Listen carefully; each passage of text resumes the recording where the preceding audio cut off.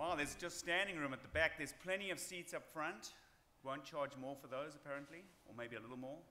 So uh, you can sneak in if you. Uh, apparently, there's some um, underground problems, so there will be people streaming in during the day, um, or hopefully this morning. Um, so you might need to get a little cozier. Uh, but uh, welcome. And uh, as you saw, sort of the whole contributor list there, just want to sort of say thanks. Thanks to all of you for obviously being here. Um, but even more, thanks to those of you that have been contributors to the platform. And uh, just a couple of uh, interesting stats. So I think in 2016, if um, Paul's memory serves him right, we had about 10,000 active instances of InfluxDB calling home, saying. And now, if you didn't know, in March, particular day, no, just in March of 2016. Um, in case you didn't know, when you, when you do run InfluxDB and you don't put it behind a firewall and you don't switch it off, it does tell us that it's actually running. It just gives us a better count than downloads. And um, I think we just went officially uh, just over the 100,000 mark, which uh, we see a nice pretty graph of that in Tim's presentation. But uh, man, that, that's amazing. So I thought I'd do is just see how long you guys have been using InfluxDB. So uh, I know it's cozy and you've just got here, but how about uh, we're going to do sort of in, you can all stand to stretch. There we go. Cheap marketing trick, get people to stand. Yep, moan. Bit. And uh, if you've been using it for a year or less, you can sit. Okay? No, Paul, you can't sit You've been using it longer. Okay, good. Two, uh, one to two years? And uh, two plus years. That's all you guys. Don't sit because you're doing two plus years. You can't sit down there. So, you know, get, for those of you that are sort of looking, that are standing, uh, obviously thanks, thank you. For those of you sitting, look at the people that are standing and ask them all the tough technical questions. And your neighbors, you can ask all the newbie questions. But uh, have a seat. Thanks a lot. In that sort of time, same time period, we went from the 10,000 to you know, over 100,000 of active influx InfluxDB um, pinging home.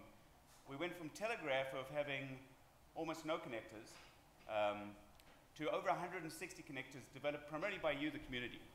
And so if there's a, there's a particular connector that you don't see, um, feel free to contribute, right? I mean, this is what it's about. And obviously, feel free, as you're sort of chatting here, looking at those things. But it's, it's all about you guys. And so as we sort of think and, and sit down and think about uh, influx days, before I sort of delve into that, few housekeeping items. If you haven't found out where the loo is, WC, the toilet, the bathroom, all the same thing, it's just downstairs, the opposite side of where the coffee was. So you coffee here, you fill up, and you go across the hallway um, to find, find the bathroom. Uh, if there's a fire, apparently they'll tell us what to do. I guess as we're going to go down the, the stairs we just came up. And uh, for all the networking events, they're going to be way at coffee this morning. Um, and you can also have a bit of an overflow into where you're registered. So all networking is happening there. The, whole goal is for you guys to do a lot of networking. So we have a lot of breaks. Uh, it's going to be a little tight and, and crammed in here. But um, all the networking sort of happens downstairs, just where were having coffee and where, we, where all the sponsors are. Power, there's some power underneath the, the chairs. I had a look at that. Um, if you're lucky enough and you have power underneath your chair, congratulations. If you're not, there's uh, power strips downstairs as well. But let's think about influx days. And so influx days, this is our third influx days. Um, or maybe it's, yeah, influx, don't look at plural of influx days, it's just influx days. We started off in San Francisco, and our first one, we went very, um, I'd sort of say, generic industry topics around things around time series. We didn't have a lot about influx. We had one talk about influx, and we decided to talk a lot more about machine learning and you know, algorithms and, and, and uh, anomaly detection and things like that. And then we did a survey. Survey said you guys wanted more, the audience wanted more influx. So New York, we did the same thing, put a little bit more influx in, and added an extra day, a workshop day. Um, and survey said, well, great, workshop day, let's expand the workshop some more and give us some more technical uh, knowledge. So what we've done for this one is jam-packed today with a lot more sessions. Um, obviously, still quite a few breaks, so the sessions are a little shorter, a lot of breaks to do a lot of networking. And then we have a full day of you know, basically a three-track workshop tomorrow. And for those of you that didn't know about that, it's included in the, the price of admission. So, um, and you know, there's, um, you just go downstairs and stop by the Influx uh, uh, booth. You can just uh, find out any of the prerequisites. For those of you who have already decided to attend, you should have got an email about all the prerequisites. So uh, if you have questions about that, again, just stop by that booth.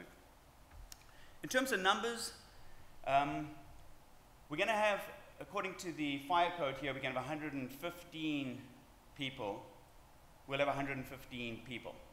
There might be more than 230 legs, but it's 115 people. So if you ask, we had 115 people, it might be, you're a little squishy, um, uh, it might be a little bit more than that, but that's, that's sort of a, and I mean, we were a little, no, putting on this event, I was a little nervous, uh, going, wow, will we get 115 people here? Should we get a bigger room? Should we get a smaller room? And so, you know, we'll know next year to get a bigger room, I guess. As, uh, you know, we uh, sold out, and so that's, that's again, sort of a, a, great thing to do.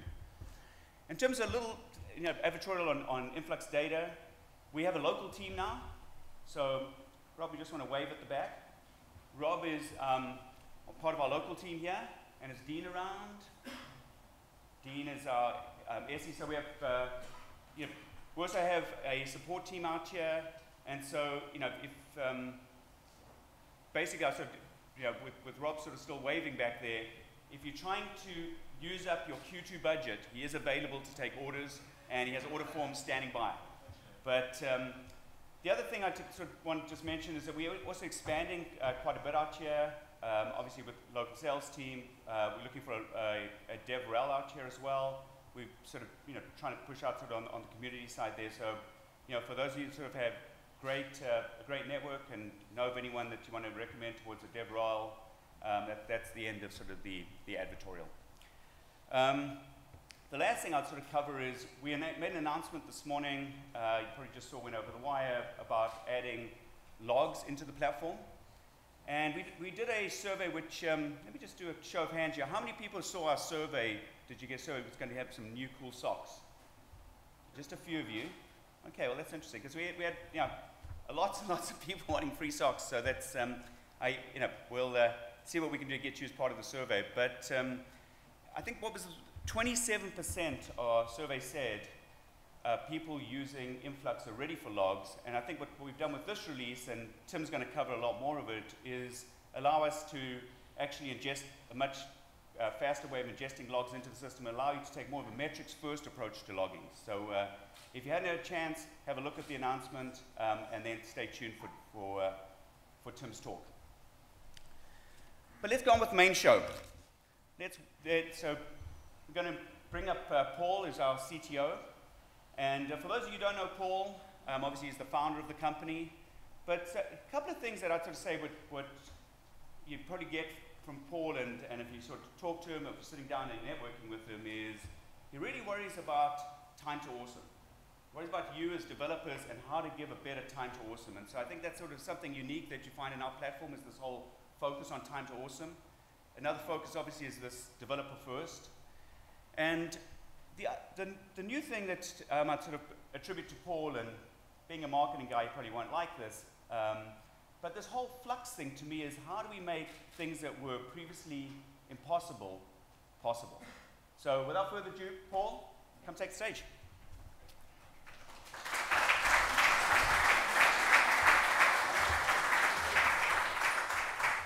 Thank you, Mark. Uh, great. Thank you, everybody, for coming today. Um, my, my talk today is about Flux, our new language that we're creating. Uh, and I'm calling it uh, a data scripting language. If you want to be more specific, it could be a time series data scripting language, but it's not necessarily strictly scoped to time series data. So the first thing to note is, uh, as for those of you who have been paying attention for about the last like 10 months, uh, this was previously called IFQL. And we've renamed it to Flux uh, for a few reasons. One is IFQL previously, like when I created that name, it stood for Influx Functional Query Language. And the reason we've changed it to Flux is because calling it a query language is actually doing it a disservice because it's more than that. And the other piece is it's not necessarily just for influx, which I'll cover as well. So what do I mean by a data scripting language? Um, I, I, I, think of this as a different problem set than just a query language. I say data scripting language because I want users to be able to do more than what they would do in a query language, to munge data, to, to work with it in different ways. And the reason why I say data scripting language instead of just scripting language is that we're trying to keep the focus on working with data specifically. So mining intelligence from it, munging it, doing, doing data specific tasks. So it's not, it's not just supposed to be like some general purpose scripting language. The other important thing about this is that we've recently relicensed it under the MIT license. Initially, when we were working on IFQL, we had it under AGPL, and then we decided that we wanted to get this language as broadly adopted as possible, whether people were using it for influx or not. So we figured an MIT license, it's the most liberal thing we, we could do, uh, and hopefully we'll get broader adoption of the language and of the engine. So that covers the language itself, but also the engine implementation in Go. All right, the talk structure is roughly something like this. First, I'll talk about why Flux, why are we doing this? Uh, I'll talk about the design and structure of the language, and then I'll close out with some motivating examples, some things that will hopefully um, convince you that there's a reason for us to be doing this. Now, the first question you might be asking is, why not just use SQL? Right? InfluxQL today, as it stands, is not SQL. It looks like it, but it's definitely not. So creating a new language, that's a lot of effort. We could actually just put that effort towards making Influx support SQL as a first-class citizen. Um, but we decided not to do that. One, I mean, first and foremost is because in my mind, SQL is tied, very fundamentally tied to the concept of relational algebra, right? And for us, I don't think time series data is necessarily relational. It can be relational, but there are other things about it that aren't strictly relational. Uh, so I think it's really like beyond time series and working with data generally is beyond the scope of just relational algebra. And the truth is, SQL isn't even a pure implementation of the original uh, relational algebra paper. So Ed Edgar Codd wrote this in 1970, and SQL is not like a pure realization of the paper that he wrote. And the other thing is, SQL isn't even the only interpretation of how to do relational algebra. It's not like Edgar, Codd, Edgar Codd like came down from up on high and handed the world SQL to, to do these things, right? Uh, one of the competing uh, variants back in the day was this language QUEL. So Postgres actually had QUEL as its primary query language all the way up until 1994. So the top example here is QUEL, the bottom is like the SQL version of it. And as you can see, they're totally different. They don't look anything like each other. Uh, so 94, Postgres switched over to having SQL as the query language, and it wasn't until 96 that they changed the name from what you see on the slide to the name that everybody knows today. Now, the rise of SQL was primarily driven by this company, right? In the 1980s, they were pushing SQL forward, and everybody who was adopting relational databases, or the vast majority of them, were adopting Oracle. So basically everybody piled on to SQL to try and like chase what Oracle was doing because they wanted to sell solutions and they're like, okay, don't buy Oracle, you can buy us and we're a drop-in replacement. So SQL didn't, it wasn't born a standard, right? The initial implementations were, were born in the late 70s. It wasn't until 1986 that SQL became an ANSI standard and it's evolved since then. Now, with all of this history, it's built up a lot of inertia. And you might be wondering, okay, well, there's, you know, there's libraries for writing data to these databases and querying. There are uh, BI tools like Tableau and Looker and all these other things. There's a ton, there's a massive ecosystem built around SQL. So there are advantages to picking that as a language, but there were some severe limitations for us in terms of using it as a language we want to be able to add to the language, add new sorts of functionality. Uh, and for the changes that we want to make, we found that it was really hard to, to do those additions and have it actually, one, not look like a complete disaster, and two, keep the semantics of the language consistent. And ultimately, what we decided is a functional query paradigm, or like a functional paradigm of working with data, I think it matches much more closely to what you want to do with time series data. Now, now that we're at the basis of, okay, we're, we're rethinking this language and we're going to do a functional style, I wanted to basically rethink programmer productivity. Because if you're going to create a language or a new, a new thing in software for, that's for developers, I think really the only way it gets adoption is, is, is if you increase programmer productivity with it, right? So a key example I use here is if you think about data scientists, a lot of the time what they do is they'll query a database, they'll pull the data back locally, and they'll work with it in pandas or R or whatever, and then they'll write it back. And to me, that's kind of an anti-pattern. Like ideally, what I want out of a database and a data platform generally is I'd love to be able to push those workloads down into the database. I don't want to have to write query code in one language and then write processing code in another language and whatever, right? So I'd love to be able to just write one script, tell the data platform, and have it execute everything that I need it to do. And because of that, the idea is that a scripting language would be more powerful than a query language. It would allow us to start pushing some of those data science and analysis workloads down into the data platform. And ultimately, I don't want to live in a world where the best way humans could think of to work with data was invented in the 70s. And we can't even like rethink these things from first principles. I honestly, like, I just don't want that to be my reality. I refuse. So now that we've said, okay, we're going to do a functional language, we're not going to do SQL, why not just use an existing language, right? Why not embed an existing language in the platform and have people work with that? Haskell and Lisp are functional, right? Uh, you could use Lua. But the, the truth is, like, none of these languages has gained popularity. They've been around for a long time. Paul Graham and Rich Hickey couldn't make Lisp popular. It's not gonna happen, all right? So honestly, like, those languages are, I think they're designed for experts. And we want something that's more usable. And we also want something that's scoped to this idea of working with data. It doesn't have to be general purpose. And ultimately, we need full control over the language so that we can make changes to it, uh, define new things, and actually optimize it for our use case specifically. So let's talk some, about some of the design principles of the language itself. These are, these are things we try to keep as priorities as we try to, when we have like questions that come up when we're like, okay, which way do we want to go on this decision of language design or implementation? First and foremost, it has to be usable. It has to be optimized for usability. We optimize for programmer happiness, right?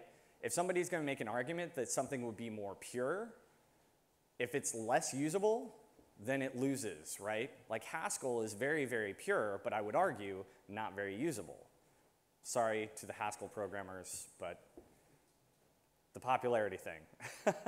but ultimately, like, I want a language that's fun to use. I want people to have fun working with it. And we want to make everyone a data programmer. Part of this idea is we want a user interface for beginners a user interface that's like a builder that they can work with the language, right? I, I, think the ideal here, the prior art example, is if you think about Visual Basic 6 or Delphi back in the 90s, the, these two tools, I'm dating myself here, um, these two tools made a ton of people programmers that otherwise would not have been programmers. And they were able to create tons of like, you know, hundreds of thousands, if not millions of like line of business applications that otherwise wouldn't have been created.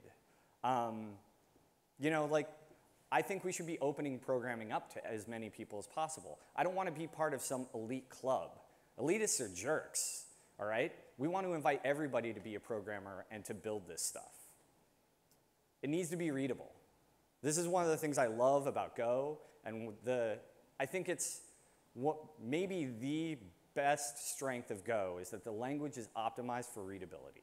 You read far more code than you ever write.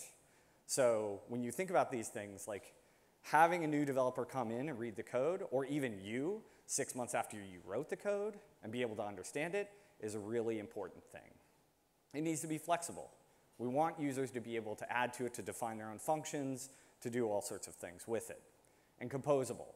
So that's, they, ideally, like users who are working with the language will be able to build up the set of functions and the things they have over time to kind of raise the base of the language up to their problem domain, their application space. Testability is an important thing. And this is, this is like another place where I think functional actually is really wins out, right? When you think about functional programming, you have a function takes an input, it does some sort of work, and then it sends an output. That makes it perfect for unit testing, makes it easy to test. It needs to be contributable. We want community members to be able to add to the language. So Mark had mentioned um, that Telegraf has now over 160 plugins.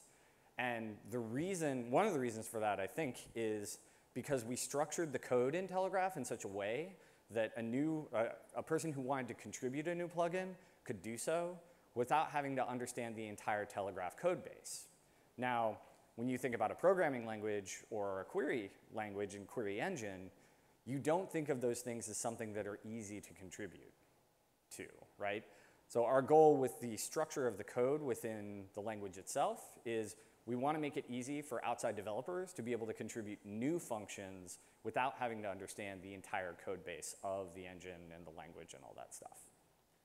Finally, we want it to be shareable.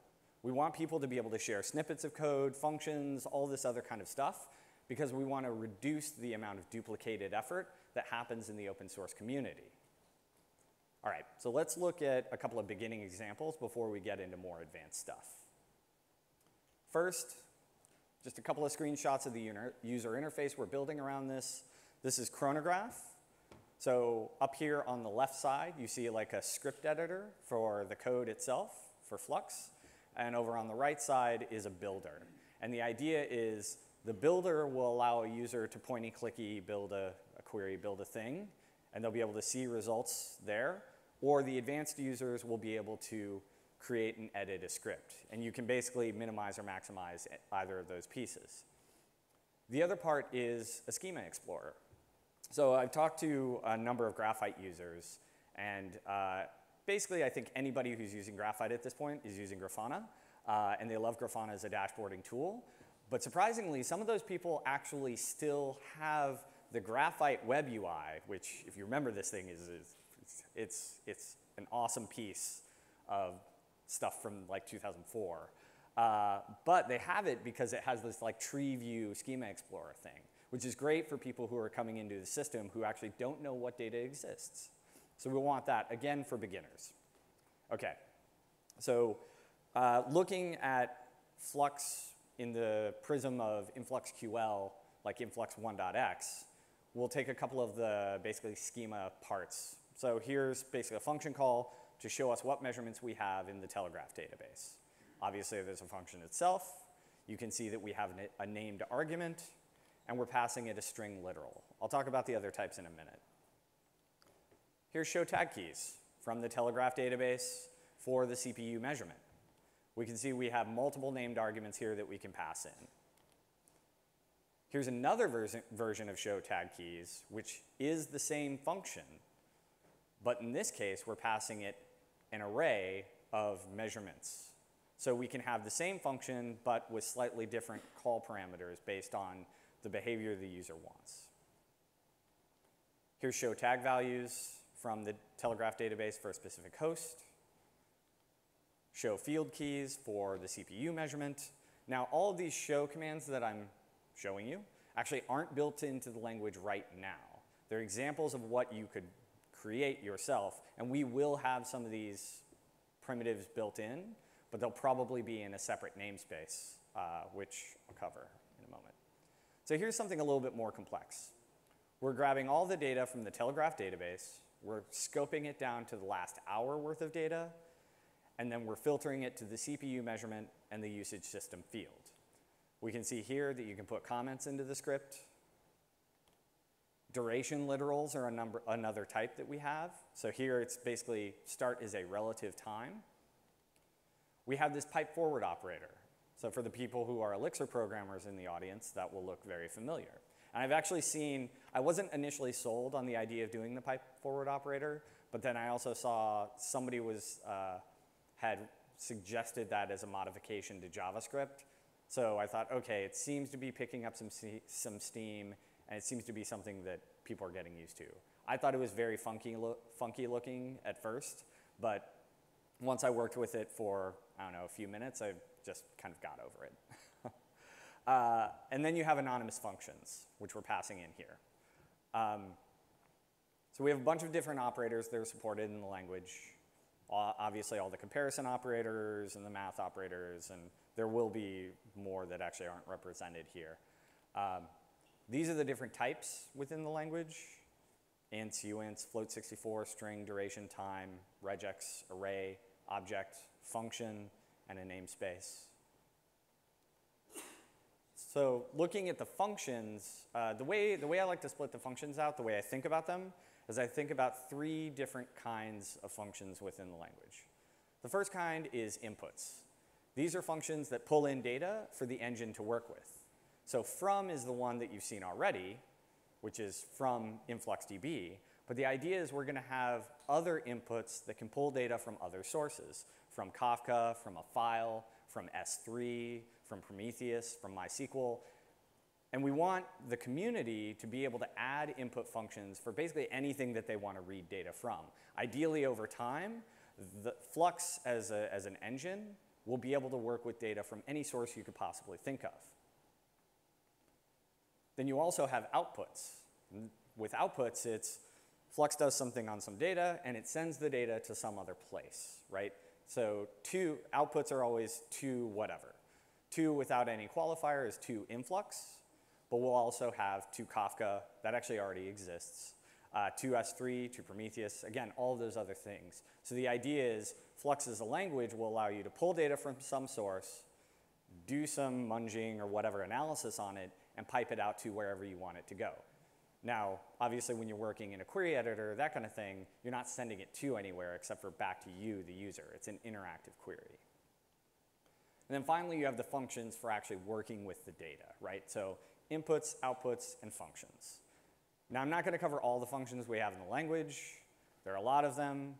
There are going to be even more. These are, not all of these are implemented. Many, many of them are, but not all. But the idea is we're going to have many, many functions in the language. And ultimately what we want is we want Flux and the functions that it provides to be a superset of what Graphite has and of what many other systems have. And again, this is part of that idea of contribution. We want community members to be able to contribute functions that they find useful.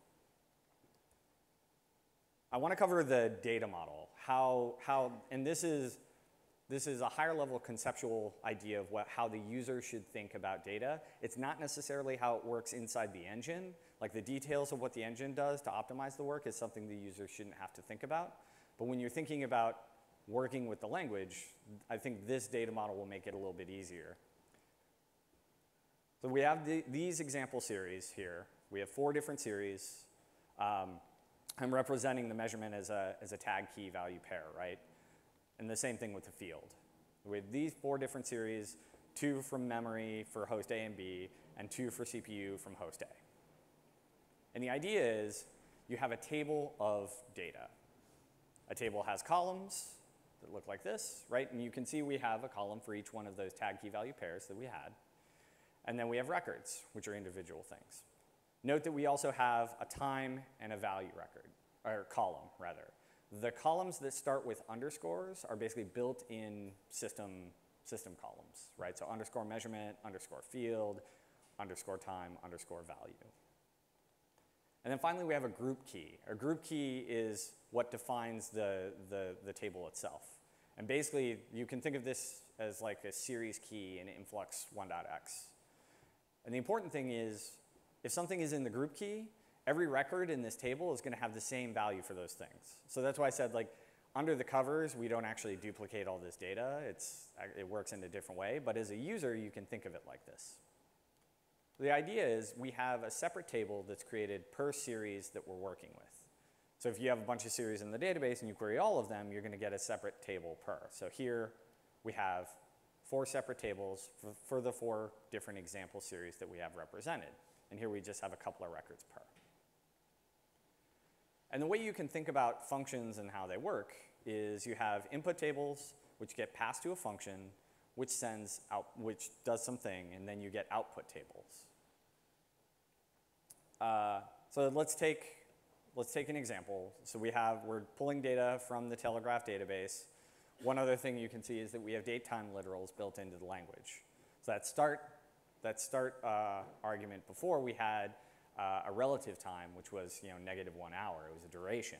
In this, in this case, we're actually passing it an absolute time. So when you're thinking about this, okay, we're, we're, we're, we're taking a range of data, we're filtering it down, and then we're calling sum. The question is, what are we going to sum on? Well, all of the aggregates have a default, have a columns argument, and their default is underscore value, which just says sum the value column in each of these tables. Okay, so this input here maps to the input tables that I have on the lower left, right, conceptually. Those get sent to sum, and then sum outputs these tables. So what you can see is we have two input tables, two output tables, and each output table has only one record, which represents the sum of the table. And with most of the, with the aggregate functions and many of the functions in the language, there's this end-to-end -end table mapping, where if you have five tables in, you'll get five tables out, right? It's a one-to-one -one mapping of tables. Now, there are some functions which actually modify the number of tables that you get in output. They'll actually take n number of tables and produce more tables, or they'll take n number of tables and collapse them down in, into fewer. Window is one of these functions. So window is a function for splitting up tables based on time. So we're looking at 30 seconds worth of data, which is basically four samples, assuming that we're sampling once every 10 seconds. We're going to split that into 20 second windows of time. So here's the input again. The input specifies these two separate tables. You can see the four samples each. We're going to send that to window. And then what we're going to get is four separate tables, right, of two records each. So what we've done is we've split those two tables into separate tables of 20 second chunks. So that's the end-to-end table mapping. So window works to slice tables up based on time. The other thing is when you do this, it will add under the covers a start and a stop column, which represent the start and the stop time of the block of, of time that the table describes. And that becomes part of the group key. Group is another one, but it works in the opposite way. It, it collapses tables down. So right here, uh, this key is actually, this should not say partition key, it's actually a new group key. We're updating the, the vocabulary, the words we use to describe these things. But here we're saying group everything by the region. So we have the in, two input tables here for, for, the, for the filter that we have. We send it to group and we group on the region. And because we're collapsing it down and there's only one region, what we get is one table out. So it's end-to-end -end table mapping where M is going to be equal to the cardinality of the group keys together. They're represented in the source data set. So you always group based on columns. So the idea is window and group slice the data in different ways, either vertically or horizontally, depending on what you need. So I want to talk a bit now about composability and flexibility. So what we're going to do is we're going to tear down this function here, show tag values. Here's another way to call show tag values. Here we're passing it a start time. Now we didn't have to pass it a start time, but we can pass it a start time. Here's what that function definition looks like. We have show tag values. It takes a database, a tag, a start time, a stop time, a predicate. Uh, it pulls a range worth of data, and the interesting thing is, what we're doing here is something that you can't do in InfluxQL right now.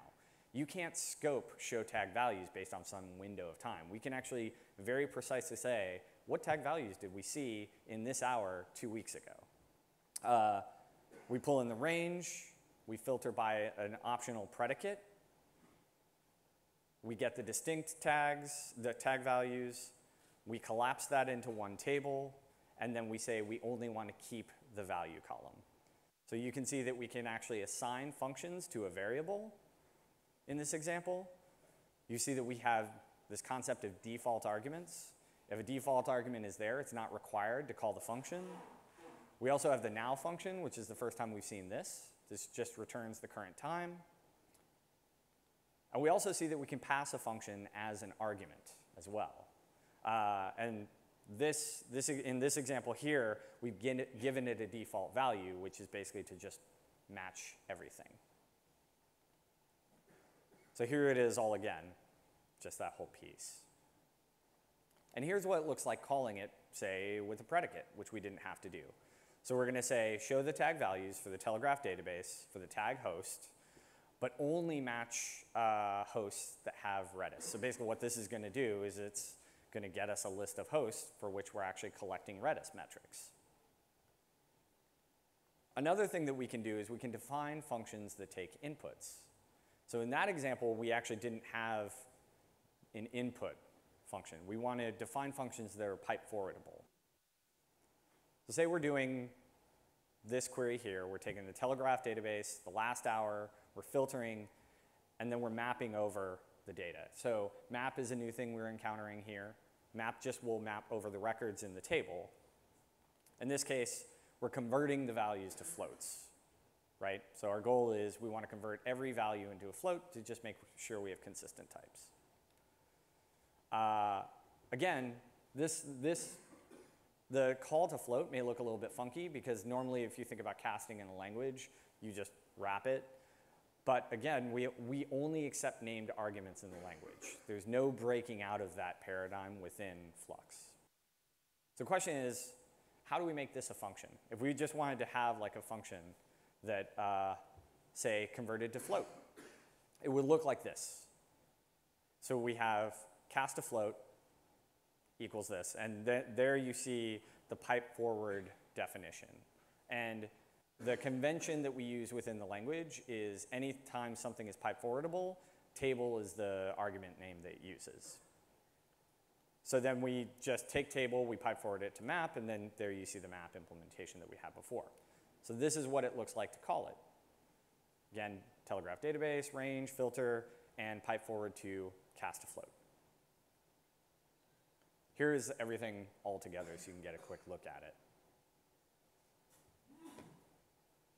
Now, within the language, any pipe forward function can actually use arguments. So it's possible to call a function like this without using the pipe forward operator uh, and just nest everything like this. So essentially, like we made some mutant variant of Lisp, uh, if you like.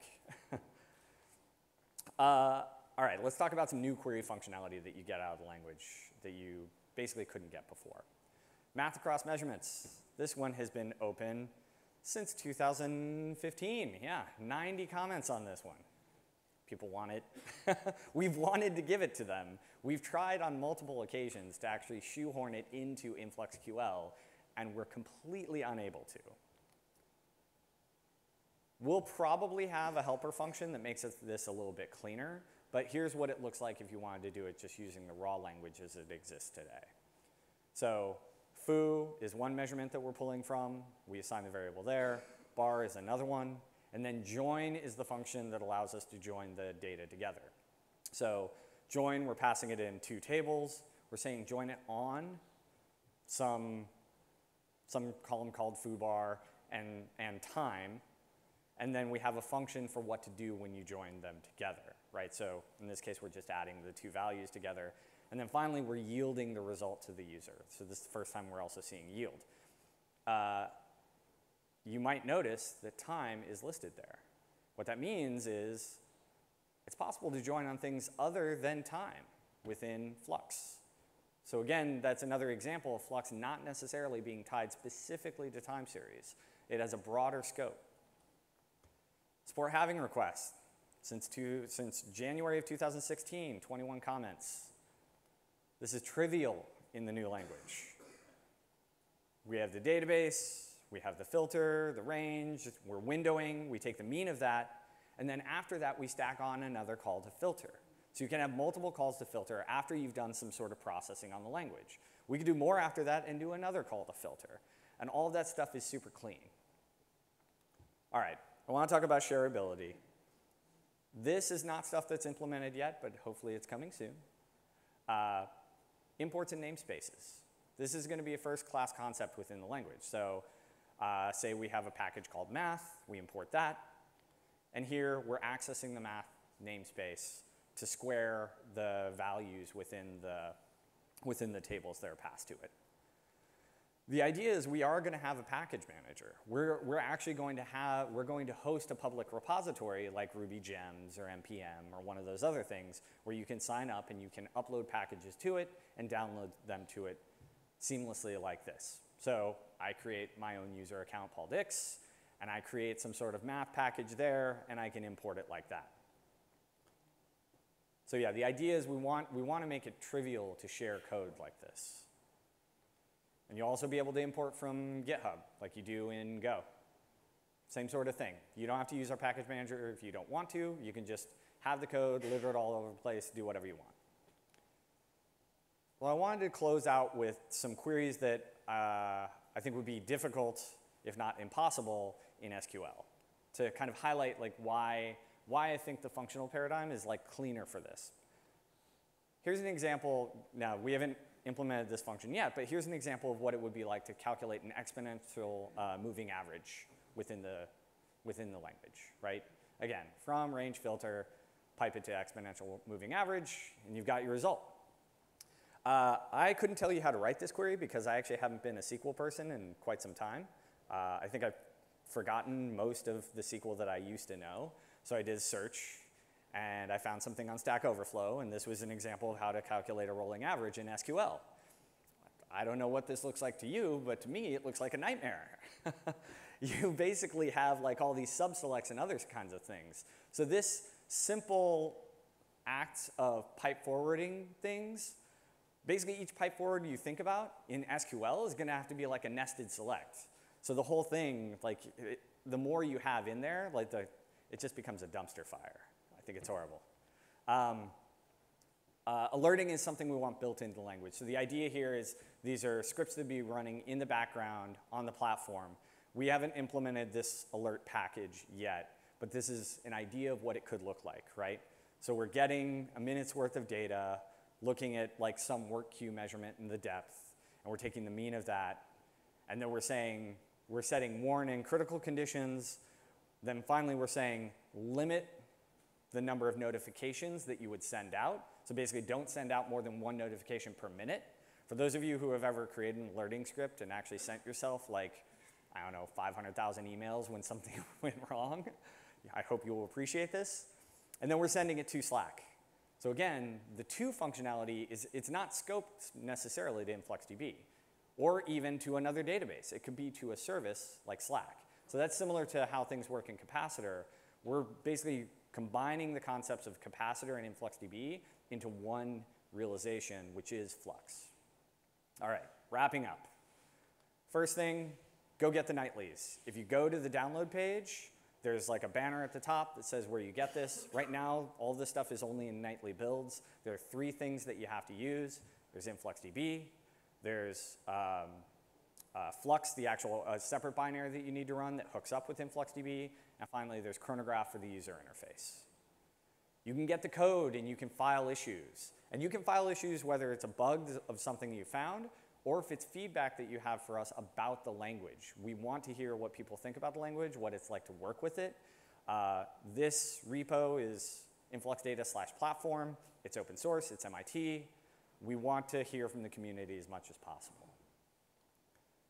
SQL is a great thing, and it's a really powerful tool. But the thing is, it shouldn't be the only tool. We can dare to do better. We can try to create something better. The future of development, I think, is in data-driven applications. There are going to be a mass of new developers whose only job it is to try and gain insight from data and work with data. And with Flux, we want to enable everyone to be a data engineer and let millions of new data engineers bloom out of that. Thank you.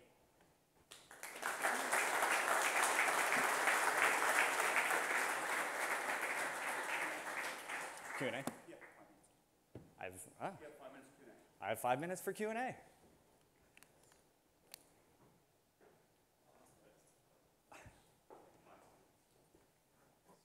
question would be, does it work? Oh, yeah, it works. Okay, so my question would be, is the, does that make sense to run the Flux on the separate machine, or you always run it on the same machine, which is, is, is there, is there any huge overheads of running it on the same machine? Or uh, right now, I'd run it on the same machine. Um, but the, I- the, I mean, ideally, what you probably do is you containerize it so you can limit its resource utilization, right? That's the nice thing. One of the, I didn't talk about this in this talk, but one of the goals with Flux was to decouple the query compute from the actual storage so that we could have one separate scaling properties. We could scale query compute separately from storage, but the other is separate isolation properties. So we could, like our new, our new Cloud 2.0 platform is going to be multi-tenanted. And the way we're going to do that is basically to, to, containerize query workloads and limit what people can do so they don't create noisy neighbor problems and all that other stuff. But ultimately, if you don't have to go over the network, that's good. But again, one thing I didn't mention is at least for influx, when you do from influx, it will push down some of the logic to the storage tier so that transfers as little data as possible, right? So if you have aggregates, aggregates that are being computed, it'll compute the summary ticks and just send the summary ticks back up to the query engine so that it doesn't have to pipe all the raw data over the network. So it's almost like a map reduce that happens on the fly. Yeah. Cool.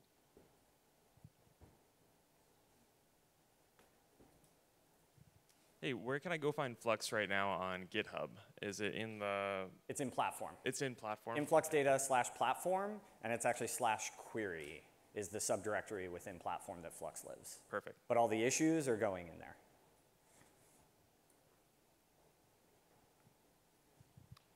So does that mean Kapacitor is gone from the new platform? Are you replacing it completely by allowing direct logic built into the query scripting language? In the 2.0 version of the platform, Kapacitor as a concept still exists, but as a separate thing. So we're going to have support for TickScript. Um, but the idea is in the 2.0 version of the platform, like background processing is a first class citizen where you don't have to actually add a new separate thing and have to deal with it. Perfect. So like that example with alerting, like if I want to build my own logic on top of the data in Influx, I don't need Kapacitor. You, do, you wouldn't need Kapacitor. okay, no. great, cool. But yeah, but again, like the, we want to support TickScript and all that other stuff. The difference is we're just trying to unify Kapacitor. Actually, we're trying to unify Chronograf, Kapacitor, and influx as one cohesive whole. Got it. Okay, thank you. Um, do you provide any um, behind-the-scenes optimization of um, queries? You get newer people writing stuff maybe in suboptimal ways. Yeah, so optimization is a never-ending battle.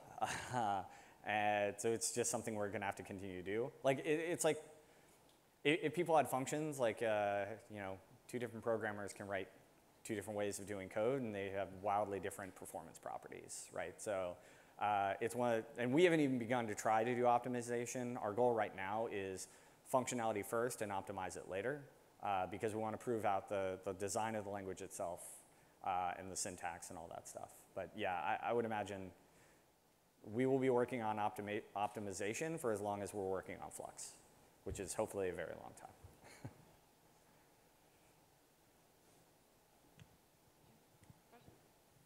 In, uh, in Kapacitor, you have the UDF uh, option. What uh, it will be in this Which option? UDF? UDFs. Um, so that, that's kind of outside the scope of the language itself. I mean, we will have some sort of similar concept where you'll be able to call out to uh, a, separate process that's running. We just haven't spec that out fully. But yeah, I mean, we, we want to support the UDF functionality. Our ideal is that people wouldn't have to create UDFs. I think the number of UDFs that you would have to create will be significantly less because you'll be able to represent it just in Flux, the language itself. But there are definitely cases where you would drop down to, to totally custom code, and we'll enable that.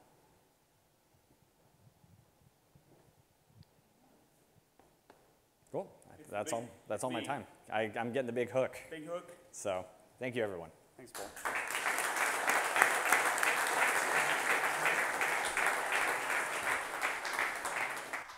So I was going to um predict what the question was going to be, but uh, none of you asked this question. Uh, where do we get the slides from, and will this talk uh, be uh, available on video? Um, so the answer is in, a, in uh, hopefully by Monday of next week. Uh, the slides will be up, as well as all the talks from today. So for those of you that weren't able to frantically make notes from Paul's talk there, they will all be up on, on Monday. Yes? And I do have a nice bag here. Don't steal. Okay. Um, the other thing, we, um, this afternoon we'll have Grafana also talking about how they are embedding Flux inside of, inside of the platform because obviously the way that we get usage is it's got to be in Chronograf, uh, you know, obviously. Um, but, I, you know, it's a great partner, Grafana. I know a lot of you use Grafana. So, you know, again, both platforms will have this and, uh, you know, get it off GitHub and start making some issues and comments. Um, thought I had one other thing, but I think that was